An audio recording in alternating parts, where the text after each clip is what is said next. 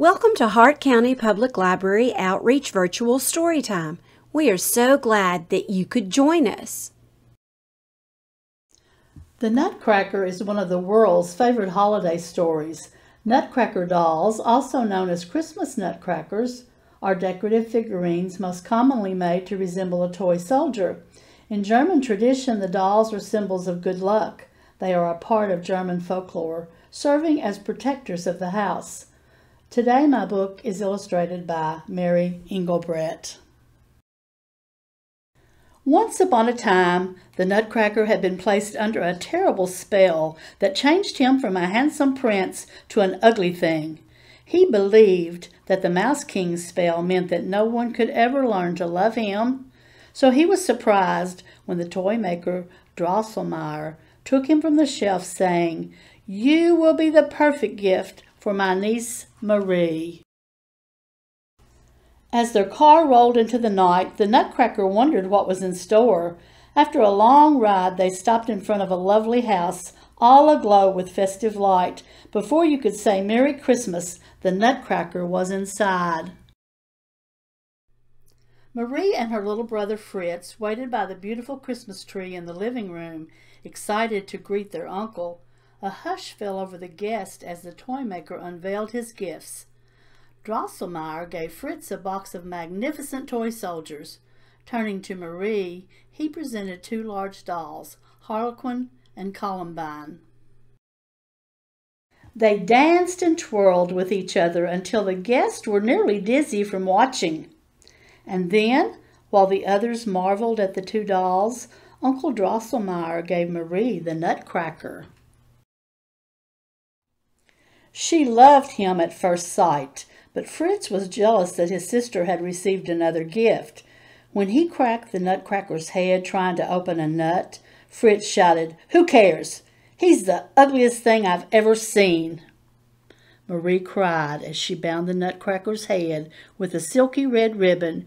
You are not ugly to me, she whispered, putting him to rest under the Christmas tree. Later she crept down the stairs to see if he was well. In the dreamy quiet of night, she soon fell asleep. Boom! Boom! Marie was awakened with a terrible fright. Drosselmeyer sat on the booming grandfather clock, sprinkling magic into the air. Below him, the floor began to shake. Out from the darkness came the very fierce Mouse King, wearing a golden crown and waving his sword. Marie was so frightened she fell and bumped her knee. The Nutcracker leapt to her defense and led the fight, shouting, Charge! But the Mouse King was strong. Just when all seemed hopeless, Marie threw her shoe at the Mouse King and saved the Nutcracker. The Nutcracker seized a silver sword from one of Fritz's toy soldiers and challenged the Mouse King one last time. Their battle was fierce. Yet, by the stroke of midnight, the Nutcracker had claimed his victory and the spell was broken. The Nutcracker was himself again. Now a handsome prince, the Nutcracker whispered, Thank you, dear Marie. When he gave her the Mouse King's golden crown, her heart swelled with happiness. Then he asked, Will you come to Toyland, my kingdom? I want you to love it as I do. Snowflakes spun around them as they flew through the cold night into a land of warmth and sunshine. They passed through a forest where golden fruit grew on every branch and the smell of Christmas and candy floated around them. Soon they came upon a little gathering of dancers who played reed flutes so sweetly, each note seemed to be made of sugar. Then Marie saw a beautiful lady coming toward them from a distance. This is the Sugar Plum Fairy, the prince said. She watched over Toyland while I was under the spell. Flute music floated in the air as the Sugar Plum Fairy led them across the kingdom to the prince's gingerbread castle. They feasted on chocolates, ginger snaps, and cakes.